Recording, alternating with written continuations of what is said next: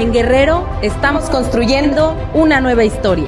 Con una inversión estatal de más de 180 millones de pesos, la pensión universal para el bienestar de personas con discapacidad beneficia a más de 16 mil guerrerenses que hoy reciben el apoyo de nuestro gobierno.